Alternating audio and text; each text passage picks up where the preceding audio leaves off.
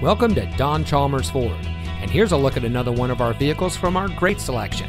It comes equipped with keyless entry, rear spoiler, tire pressure monitoring system, rear view camera, roof rack, heated front seats, Sirius XM satellite radio, air conditioning, power driver seat, sync communications and entertainment system, and has less than 25,000 miles on the odometer.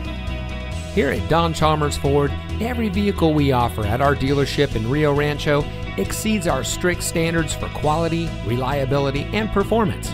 We have a friendly and accommodating staff eager to assist you, and our team of experts is ready to dish all you need to know about our available car loans and lease options.